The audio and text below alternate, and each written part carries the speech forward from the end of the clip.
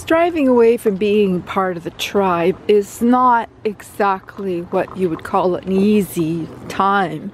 But at the same time, would you rather hit your 50s and never have tried anything that you've wanted to try? Or your 60s or 70s or 80s?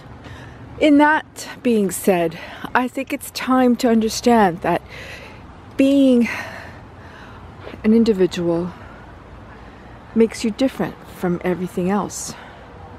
But at the same time, look at what you could be. And in my understanding of things is that when we have the difficulty of separating ourselves from the tribe, that it is because we are following the energies that have been established for us um, for so long that it's like going counter the direction of everything else around you. I think that in time, um, individuals, I mean, tribes are needed for something or other, but I think individuals really need to have a bit more leeway as to what direction they take in life. And and that the developmental stages of childhood is where it all begins. A lot of parents seem to cherish the children that are most like themselves and applaud, never actually taking the time to actually look to see what is this child's special gift? What is this child's interest?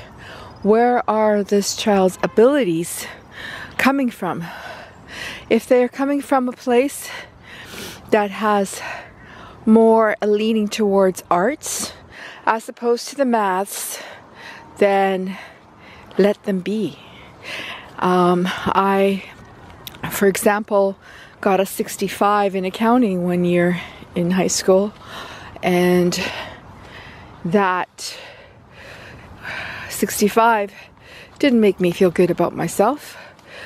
I tried my best. I tried hard to get a good mark.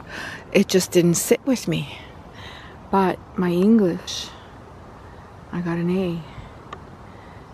And in my art, I got an A. And those are the subjects that I most enjoyed and took to as well had a natural ability for.